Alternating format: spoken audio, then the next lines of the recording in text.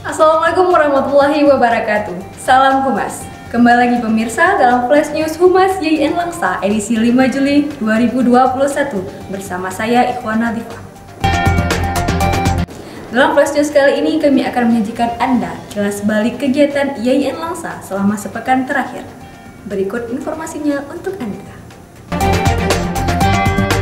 Kilas balik pertama pemirsa, pada tanggal 28 Juni 2021, Lembaga Penelitian dan Pengabdian kepada Masyarakat Institut Agama Islam Negeri Langsa menggelar workshop administrasi kepangkatan dosen menuju lektor kepala dan guru besar secara daring melalui aplikasi Zoom Meeting.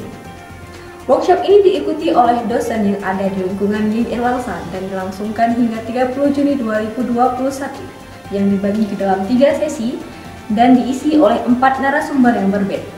Wakil Rektor 1 Bidang Akademik dan Pengembangan Kelembagaan YIN Langsa, Dr. Haji Muhammad Suhaili Sofian, MA, menyebutkan kegiatan ini dilaksanakan untuk membantu para dosen YIN Langsa dalam menyusun POK kepangkatan menjadi rektor kepala dan guru besar.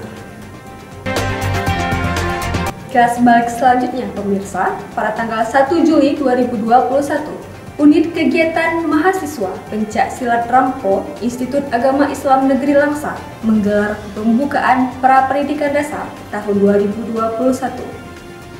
Pradik ini berlangsung selama tiga hari hingga tanggal 3 Juli 2021.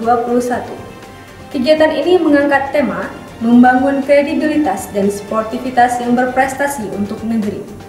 Pradik ini diadakan dengan tujuan untuk membentuk para kader agar menghasilkan bibit-bibit baru yang berprestasi. Acara pembukaan Pradik ini ditutup dengan persembahan penampilan pencak silat dari UKM Pencak Silat Rampong. Kilas balik terakhir pemirsa, masih pada tanggal yang sama, 1 Juli 2021, Rektor Institut Agama Islam Negeri Langsa, Dr. Haji Basri MA, bersama dengan pimpinan Ma'had Ali Ahlul Quran Aceh Tamiang, Dr. Muhammad Nasir MA, meresmikan dan membuka program pendidikan kadar ulama berbasis sarjana strata 1 angkatan pertama. Program ini merupakan hasil kerjasama Institut Agama Islam Negeri Langsa dengan Ma'had Ali Ahlul Quran Aceh Tamiang, yang ditandai dengan penandatanganan MOU oleh kedua lembaga.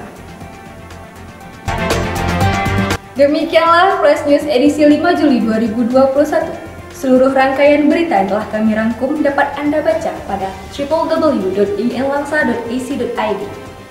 Saya, Ikhwan Hanifah, mewakili kerabat kerja yang bertugas mohon pamit undur diri. Terima kasih atas perhatian Anda dan sampai jumpa. Wassalamualaikum warahmatullahi wabarakatuh. Salam Humas.